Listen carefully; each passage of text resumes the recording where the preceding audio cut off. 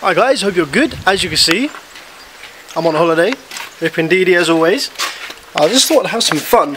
Uh, basically, I haven't got round yet to building myself uh, a little portable speaker system, dock, whatever you want to call it. Um, and basically, I got this from a friend for free, which was broken. So this is the cheapest, most basic uh, speaker dock that you can buy from your typical department store, Walmart, or if you're in the UK, from Comet when it was available, Currys, etc. Very cheap and nasty.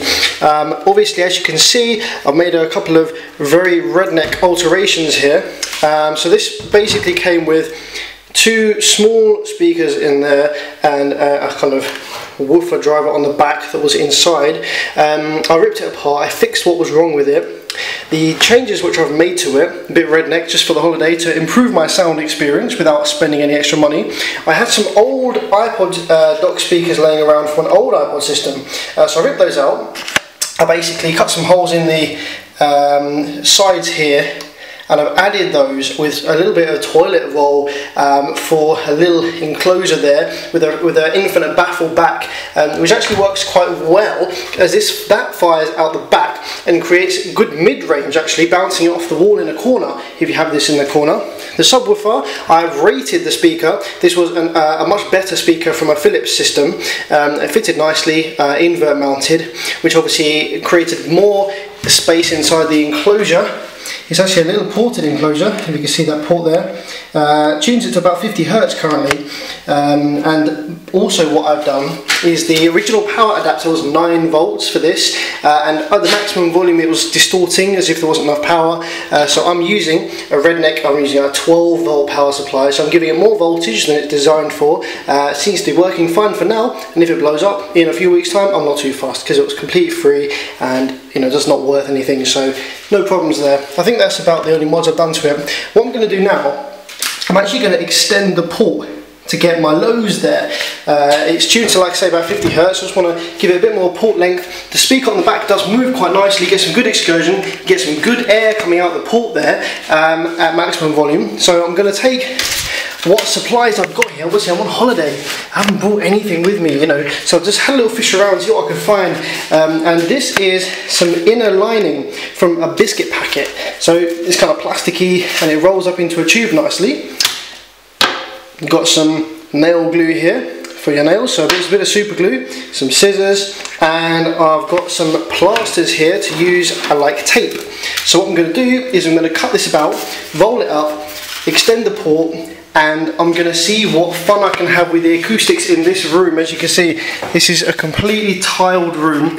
Um, I'm going to see what, this is just like some additional room on the villa, see what fun I can have in this room with the acoustics, find the resonant frequency uh, and see what kind of sounds we can make. Right, so it turns out the nail glue is only good for sticking things to yourself, nails, hands, fingers, doesn't stick this plasticky kind of stuff together. So I'm going to have to go solo with the plasters here and um, see if I can make it airtight, seal all the way along here with the plasters, cut them up into small shapes. Uh, I might need to get some more than that uh, and do that, do it that way. Okay, so here's the port for now at least. It's not airtight, it's probably the leakiest port you've ever seen in your life, but with this low power, um, I just want to see what difference it makes to the tuning of the port, if we can get some more lows out of it. Uh, I'll try and find some sellotape, might try and buy some, just so I can get uh, airtight all the way along there just to make it perfect. But nah, this will do for now just to see what we can do. So I'm first of all going to try it out without my new made port. Uh, I'm going to see what room, uh, frequency this room resonates at. And what I'm going to do is I'm actually going to stick this in the washing machine and uh, use this a bit like a resonance chamber. And I played with this earlier the door, if you bring it just a little bit open, uh, it actually kind of acts like a resonant chamber with a second exit, a bit like a bandpass box if you like, uh, and it actually improves the bass considerably at certain frequencies. So let's uh, plug this in, whack this in the machine, and I'm going to put the camera over this side of the room. Uh, obviously, the wave is biggest there and there on opposite sides of the room where you've got two nodes. Um, and we shall see what it sounds like. Okay, so the docking station's all in the in the microwave now. Got the door closed. The door's got uh, grills on it. It'd be better if it was completely sealed off, but I've got to make the best of what I can. Um, now, this obviously second resonant chamber. Let's start it off at like I don't know 100 something hertz. This is quite inaccurate. So 101 hertz. Uh, start the frequency, turn this on. Got some clipping there, let's turn the input gain down.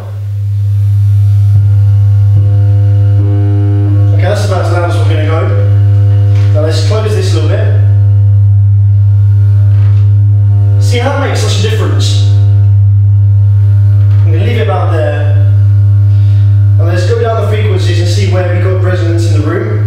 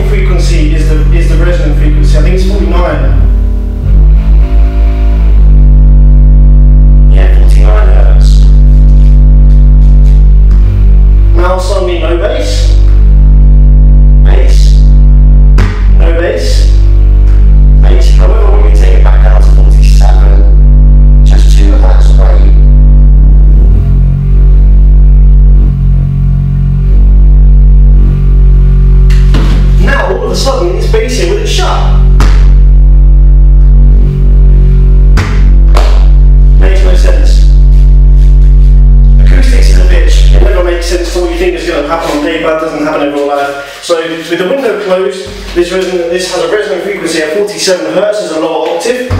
With open, we've got 49. I've got a song on my phone and I've used a speed pitch changer app to make the, the pitch of the song higher so that the bass line falls exactly within that kind of 46, 47 hertz range with the resonance of the room so we can get some nice bass from this shitty little Apple speaker. Uh, let's hit play.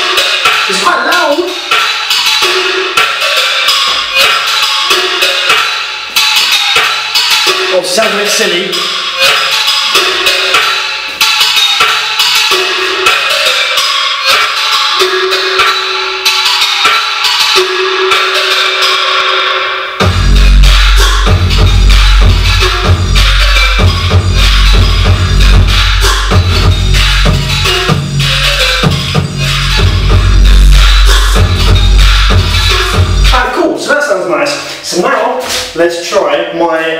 handmade port, stick that in there and see if we can lower that resonant frequency down a bit, make some nice tones in here on some lower music. Let's see if it does make any difference whatsoever to the tuning frequency uh, in here.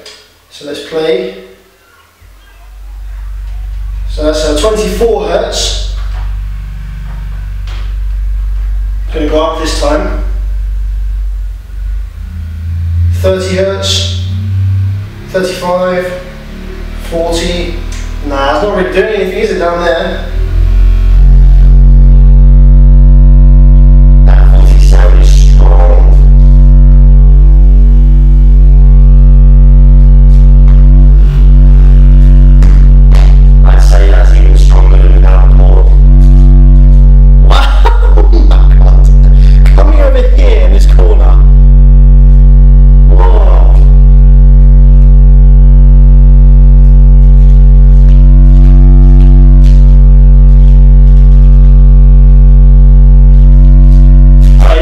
Difficult to make this out on camera, but that sounds like um, better than the majority of six-inch home cinema system subwoofers you get um, at that one frequency. This is a burp situation, yeah. So at every other frequency, sounds pretty shit in here. I'm not to lie, but at 47 hertz with this environment in this room.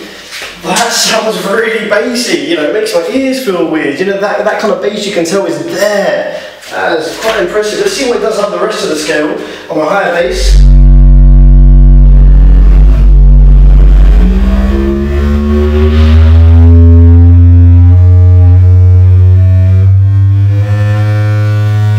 Not much on the higher range, I think because I extended the port.